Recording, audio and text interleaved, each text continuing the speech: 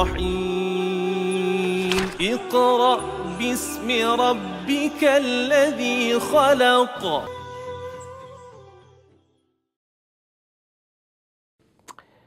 As for juz'u number 20 which starts from ayah 56 from surah An-Naml up to ayah 45 from surah Al-Ankabut Allah subhanahu wa ta'ala in these verses brought all the evidences which uh, prove the principles of Aqidah and Tawheed in a way that can demonstrate that this Aqidah which we are asked to follow is based on sound evidences.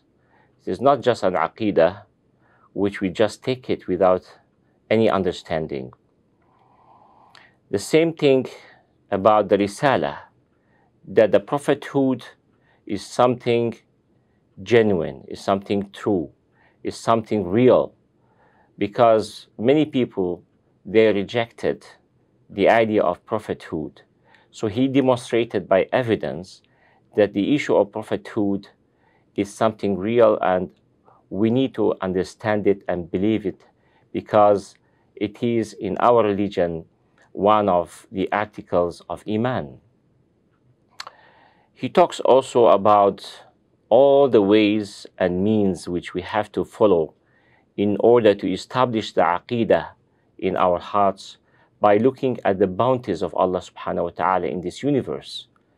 So in many verses, he urged us to look into the greatness of Allah subhanahu wa ta'ala in his creations, in heavens and earth, in oceans, in nature, in animals, in galaxies, in everything. And that would help us to realize that this can never exist by itself. They must have a creator.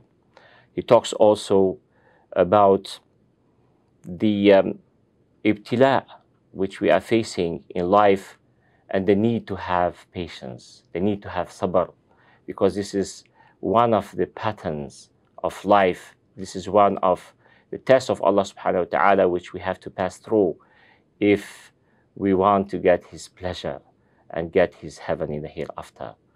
وبالله التوفيق والهداية والسلام عليكم ورحمة الله تعالى وبركاته.